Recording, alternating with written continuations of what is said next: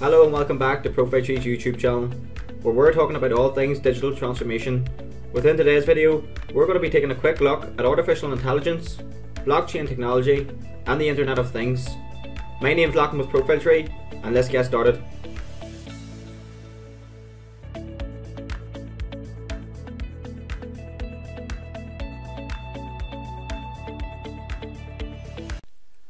I suppose it could be said that the importance of technology in business is only growing, and I suppose the rapid growth of technology is actually making it difficult for business leaders, for businesses, for CEOs to keep on top of and keep aware of exactly what technology is flourishing or even being established around us.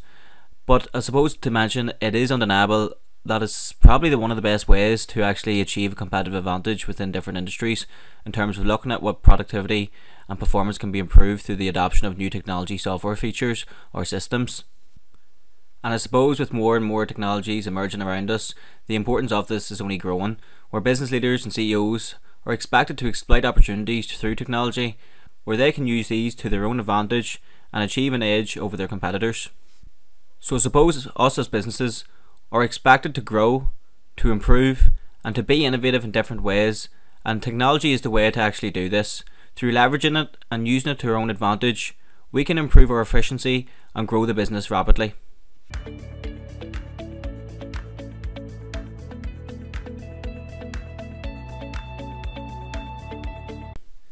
So let's take a look at the advantages and disadvantages of technology in business so you can have an understanding exactly how it's going to impact your business in different ways. So in terms of advantages there, in terms of actually improved productivity, the likes of software systems such as project management software systems has allowed uh, businesses to use better use of their resources basically through the likes of planning and scheduling of their employees. So systems such as Teamwork, Monday.com, Asana, ClickUp are all types of systems that allows you to make better use of your resources and time effectively, where you can allocate tasks, schedule your employees, and make more efficient use of your resources all round basically. Another is communication. So I'm sure you're well used to the likes of Zoom, Microsoft Teams, or even like the likes of online chat boxes. But basically, all these different communication systems allows you to either communicate with, communicate with your staff or even your customers, no matter where they are in the world. So it's become more effective in the likes of remote working as well. In terms of efficiency, we can see more and more with the likes of artificial intelligence, which we'll have a wee look at in further depth afterwards where the likes of technologies within this area allows businesses to automate their processes and actually speed up their workflow of the business as well to help improve their overall efficiency levels. We can also see technology being leveraged by companies to improve their overall customer experience, giving them the ability, to actually purchase products and services online easier, or even have um, communication levels built between the business and customer to improve their overall satisfaction levels. In terms of security, then, Technology can offer large organizations an ability or a feature or a system to, I suppose, hold large amounts of confidential data in relation to either their clients or customers or even employees, which ensures a high level of data security measures within the workplace. And then towards the bottom, in terms of decision making, a lot of businesses have technologies which are built to analyze large amounts of data and information at a given time, which actually allows them to make more informed decisions so with this time, they can then strategize towards the future development of their business, and I suppose use this technology to their advantage, like any other technology softwares which is in the market. And that sort of summarizes the advantages of technologies in terms of you know how they can actually impact your business on a positive side of things. On the other hand, though, in terms of disadvantages, the first one that we can consider is in terms of expansive. So I think one of the biggest pitfalls when it comes to technology is actually the price of technology on the market today and how much it actually costs to implement it within your own business environment. And I suppose this is probably the reasoning behind the gap of competitiveness between the likes of the larger organisations which currently exist compared to the smaller firms, where larger organisations will deem it less of a risk to implement technology and maybe even fail on technology, as they will have the resources in terms of the financial resources to um, evolve and continue to perform within their own environment. So the second point there is in terms of actually becoming dependent on a piece of technology, and this could actually leave businesses at a very high risk in terms of if they are completely dependent on a piece of technology and it either you know fails or shuts down at any time of the day. How can they plan around this? How can they continue to meet customer demand through this time period? And I suppose one way of actually doing this is through creating scenario planning in terms of carrying out a scenario plan analysis and looking at your business and looking at your technology and understand if it fails, how can we have the plans in place to continue to meet customer demand and grow the business. And I have created a video on scenario plan analysis and how you could use it to effectively improve your business and create scenario plans for the future. If you want some guidance and support in around this, contact myself and I'd be more than happy to share this video with you. So of course technology has you know massive implications in terms of improving productivity and performance of a business, but at the same time it actually can affect employee satisfaction levels in terms of maybe technology either maybe replacing their job roles or perhaps you know having an effect on their um, roles and responsibilities within a company, and this can have a knock-on effect on the likes of their productivity levels, or even see them leaving the company in the future, depending on how satisfied they are with the overall change. So this also has a link with the likes of employee skills and talent in terms of new software systems that are being introduced to actually having an effect on certain roles and responsibilities in terms of reducing their need, which also has a negative impact on the likes of employee skills and talent over time. As well as this, the likes of online communication systems can also have an effect on the social side of employees and impacting how they're actually socializing inside and outside of the workplace. As well with technology, you also have run a risk of cybersecurity threats. So although there is technology in place which has developed a whole large amount of data, personal data, um, through the likes of their clients and customers, businesses can still be left open to cybersecurity attacks, which leaves them at risk to losing, you know, their customer or client data, and also leaves them with the potential to actually face legal consequences in the future as well. So making sure you have them in place, the plans in place to mitigate this risk is going to be very, very important then. So I think we've talked enough about the importance of technology and how it can impact your business today. So let's take a look at artificial intelligence, blockchain technology, and the Internet of Things to get an understanding of exactly how you could implement it and use it to your own advantage today.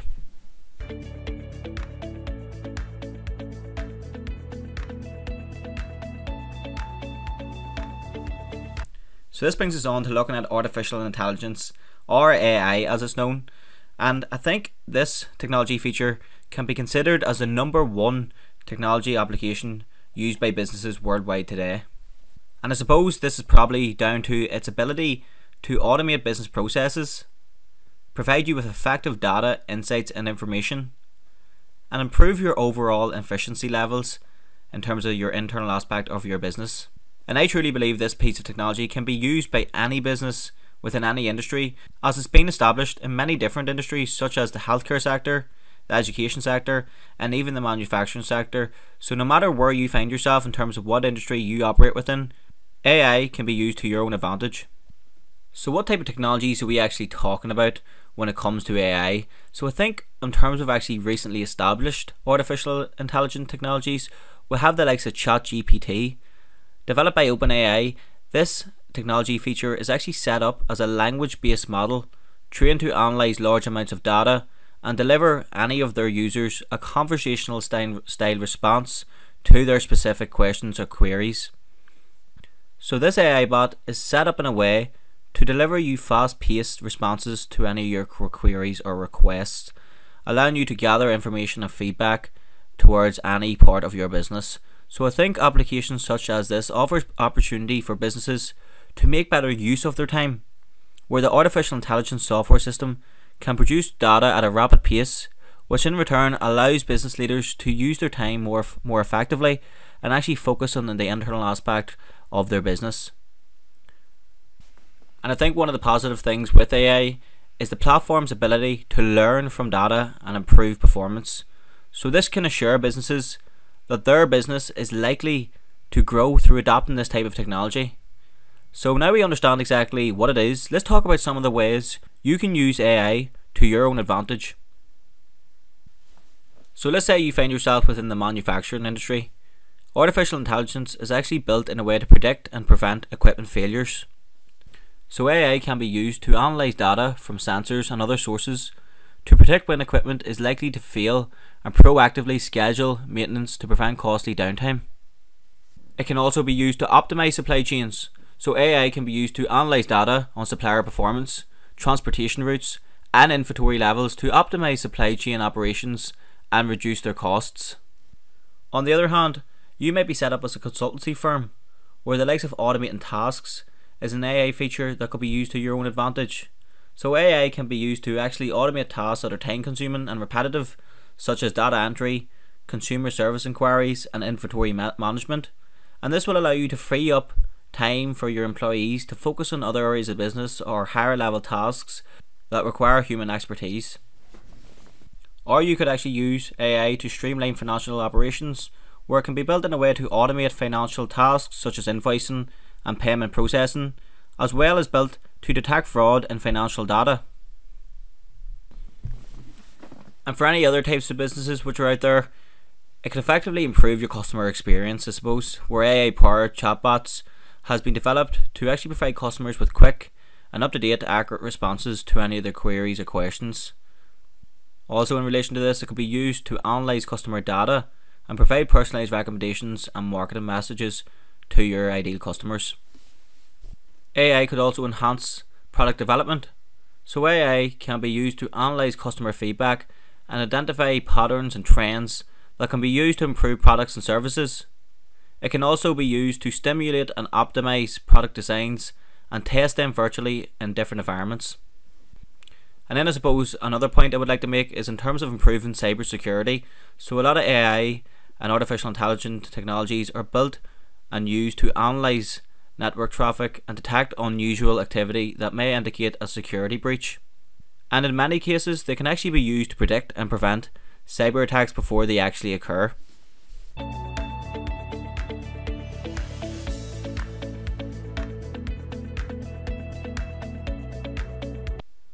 Blockchain is described as a digital ledger where businesses can use this tool to record and distribute transactions securely.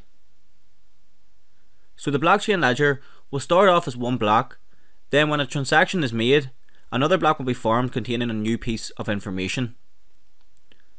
These two blocks will then be linked with each other, and the link will remain as other transactions are made and more and more blocks are added to this.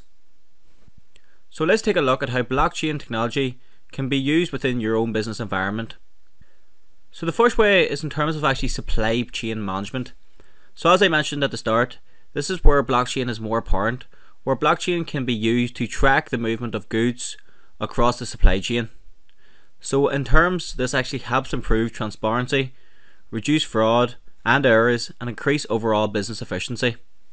Blockchain technology is also aware for producing payment and financial transactions so blockchain can be used to facilitate fast and secure payment transactions, bypassing the need for tradi- traditional financial intermediaries, and it can also provide a more transparent and audible ledger for financial records. Maybe you're a business which finds yourself within the banking or healthcare sector, where the likes of high levels of security and privacy is important to the overall industry itself. The likes of blockchain and identity verification can be used to create and decentralize identity verification systems that are more secure, private, and efficient than more traditional systems which are currently existing. You could also use blockchain technology to create smart contracts, which are self executing contracts with the terms of agreement directly written into code. So I suppose this could actually help to automate contract execution, reduce transaction costs, and increase your efficiency within the business. So as you can see here, transparency and the likes of, you know, security is a strong factor when it comes to blockchain technology. So if you are a business which operates within this region, you could consider implementing this technology to ensure you're holding a certain level of transparency and security within your own business environment.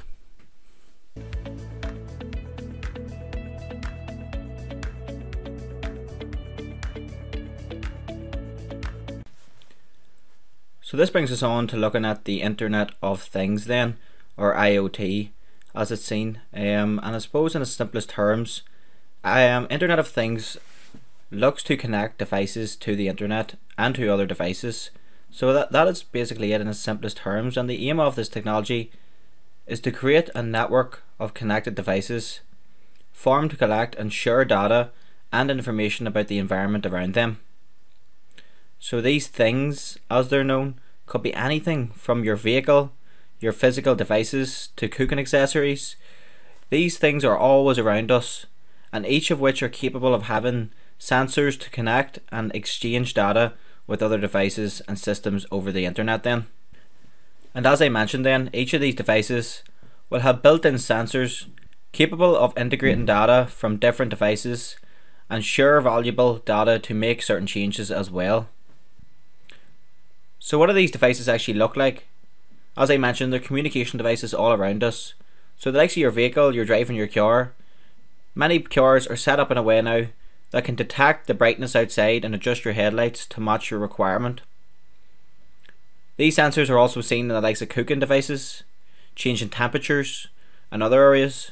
So as you can see, the Internet of Things is being used by people more and more regularly and is becoming more apparent within homes and all around us today. And it's the same with businesses. They're using it to provide informed, up-to-date insights by analysing large amounts of data, where the program also offers the ability to automate processes. And this has actually made it more common within the likes of the manufacturing industry, which allows companies to improve their overall efficiency. And as I mentioned, it's becoming more apparent where there's currently 7 billion Internet of Things devices being used today, and other reports are actually showing, with experts predicting these figures to grow by 22 billion by 2025. So you can see Internet of Things is a technology that is very very popular with a lot of businesses and it's only going to grow even more so. So let's get a better understanding of how you could actually implement it within your business today. So as a business, we're always looking for different ways to improve our operations, and Internet of Things can actually help you do this. Where Internet of Things is set up in a way to optimize business operations by automating and streamlining processes. For example, sensors can be used to monitor and control energy usage, track inventory, and manage equipment maintenance. Internet of Things can also help businesses deliver personalized experience to their customers. For example, if you find yourself within the retail industry, Internet of Things is being used on the likes of mobile apps to deliver location based promotions to customers while they shop. Or on the other hand, you find yourself within the manufacturing industry. Internet of Things can be used to monitor the performance of equipment in real time and predict when maintenance is needed. So this helps businesses to actually reduce their downtime and prevent equipment failures, having a knock on effect on maybe your performance and productivity and I suppose the same applies with supply chain management, where Internet of Things can be used to track the movement of goods across the supply chain, enabling businesses to monitor inventory levels, manage their overall logistics, and reduce any unrequired waste. Also, if you're a business that takes health and safety seriously within the workplace, Internet of Things can be used to improve workplace safety by monitoring conditions such as temperature, humidity, and air quality. In addition to this, Internet of Things can be used to track the location of your workers and actually see whether they're in hazardous environments before alerting them to potential hazards.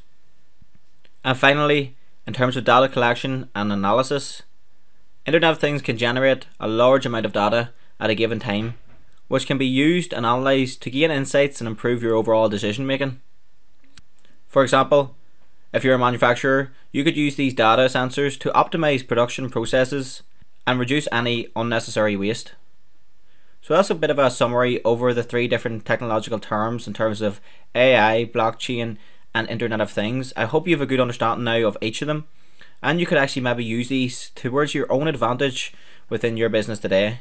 If you would like any guidance and support in around implementing any of these tools, contact Profile Tree or myself, and I would be more than happy to talk you through the different stages that you would want to consider if you're going through this analysis and implementation stage.